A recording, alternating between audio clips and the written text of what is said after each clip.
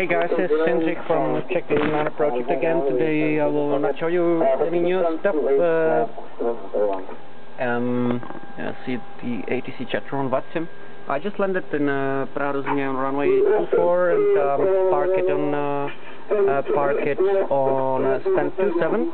And last thing to do because I'm leaving and I uh, will need to secure and uh, um, terminate the aircraft. So I will uh, read the parking and securing checklist with the following, with all of the items that should be completed at termination. That's the items in the bottom. So I will check all and let's see how what we can do. So parking brake is set. Set. Um, electrical system is set. Now external power. Set. Um, Ice protection set, we got only the anti-ice on, probe off and all others off, that's checked.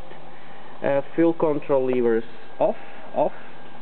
Uh, fuel pumps one on or off, we have all fuel pumps off because the APU is not running.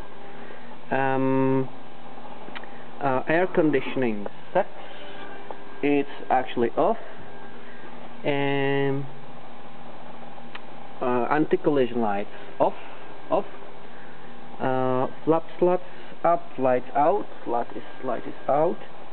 Uh, hydraulic pumps off high off. Off high off. Checked. Um, ACARS message sent. Well the ACARS is okay ACARS message sent.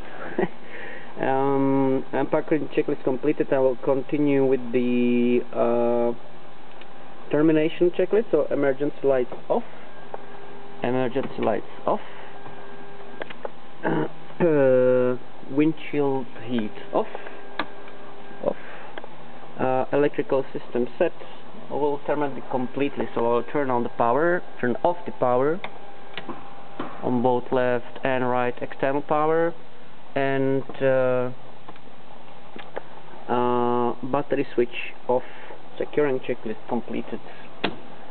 Uh, so that's it, the aircraft is safe and uh, it's off.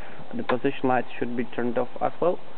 And uh, this is how to secure, park and secure the aircraft. Um, hope you like my new video. I will try to record another one once I have something new or just something interesting. And uh, see you next time. Bye bye.